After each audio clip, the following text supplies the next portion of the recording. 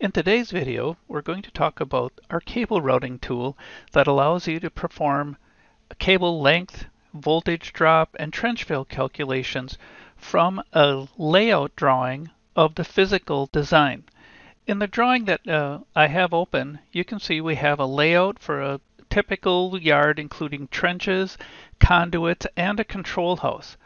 The magenta shaded pieces that you see in here are work points that contain special codes that tell our software how to route the cable through the layout and we'll place a couple of those into our symbol now so you can see how that's going to work. And of course documentation and all the symbol libraries are included with the software. I'll start up here with the insert work point tool and place our first point. This is going to be defining the location of XF41. So we'll place in location, that's the code that tells that.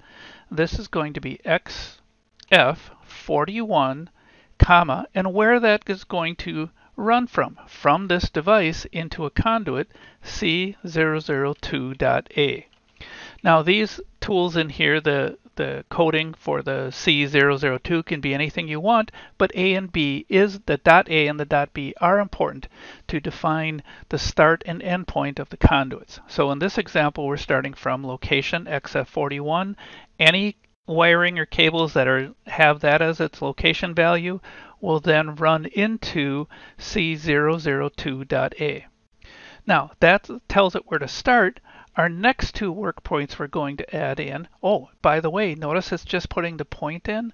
We also have a tool here that allows you to toggle the attribute mode so you can see the work point information on in here. So again, that was underneath our in our new menu. You can see toggle at mode. So rather than trying to remember how to turn it on and off, we have the tool available for you right away and it just turns it on and off. Now I'm going to put in my second work point. This is going to define the conduit run into the trench itself.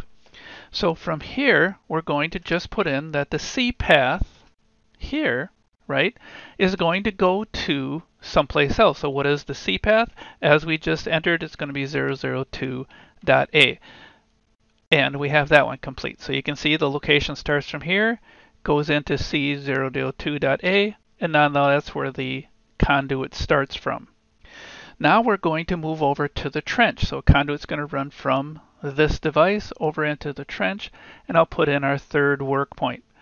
Now, again, this can work. We're doing it from a 2D drawing. You could also do it from a 3D drawing as well.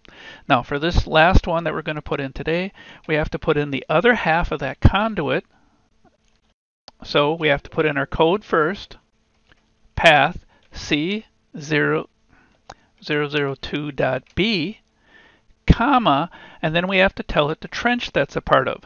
And in our case, it's tr3.a and tr3.b. So that defines the entire trench piece that's going on in, inside of here. And of course, we have components that say where the trench starts from, where it ends, routing paths that go all the way back through to here. Now notice you don't, at this point, you don't have to know where the cables are running. You're simply defining the physical layout via work points.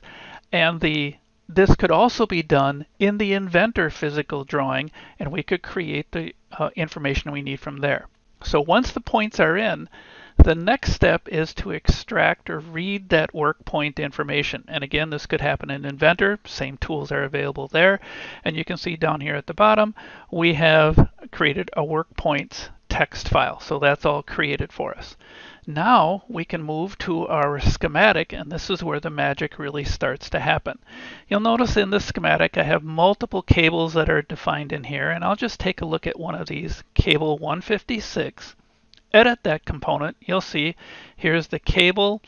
The location for where it starts from is on this device right here. So you can see the location code is XF41. The component tag is D, pin 03. Okay, so, and there's multiple cables and they all work that same kind of way.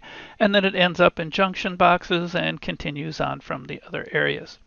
So now we'll go to our cable schedule tool. This is basically starting out from the cable from to report, but we simplified some of the processes so you don't have to go through all of that data and information. So when I start, click the OK button here, you can see it was just a couple of quick steps compared to going through all of the project selections, drawing selections if you're going through the standard cable from to report.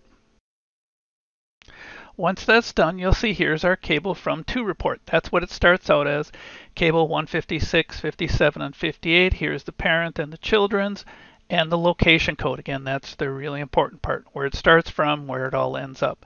Here's the next important part. I think this information is very cool too, right? Where does this wire start from? The location component pin. Where does it end? Location component pin. Great details. But now it gets even better. We're going to go to our user post tool. You can see we have a variety of options. I'm going to keep it kind of simple today for uh, the, the needs, and you know, for the time constraints. We can add a calculated length. So in case you're working with a 2D drawing, you want to add a little extra uh, cables to the calculation, we can add 10%. Here's our amp draw at 20 amps, what's going to happen with that. And we'll even run a duct schedule that shows you the pieces that are going in each conduit. So I'm going to pick OK here. This is a user post that ships with our software. And here is the report for the conduit run. You can see that's where it's starting from. So in conduit 2, remember we placed those in. Here is the from XF to trench 3 for these two cables that are being run. Shows you all of that different information that you can uh, create inside of here. Also, if I close from here, it just takes us back to our normal cable from to report. And if I click on this wide button, you'll now see we have all of that information. Let's again look at cable 50, 156, starts at XF41, goes to junction box 2, that's in the house. Here's the route of that cable, starts at the location, to the conduit, to trench 3, trench 1, and then to that junction box. Here is the cable length, right, 167 feet. Here is the uh, that length plus the 10%. Also, if we look over here, we have the voltage drop at 20 amps, 368 feet of that 8C cable. That's the one that we placed in, and here's the information that, that's going with it.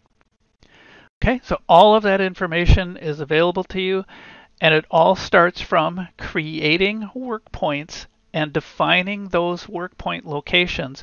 And then our algorithms find the shortest distance of the path from where it starts from either the location or the tag. Awesome information there. Can use either the location code or the tag itself then into the conduits to run. And in this case, it runs from here down over to these points and then off. And you'll be able to see that JB3 was this location in the control house. You can see location JB3 enters into trench 1.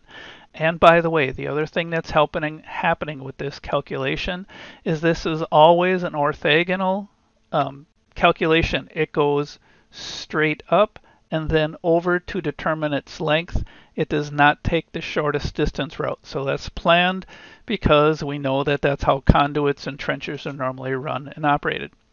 So there's our great new tool, cable routing, available in uh, most recent versions of the software. If you have any questions, please contact us at spatialbiz.com.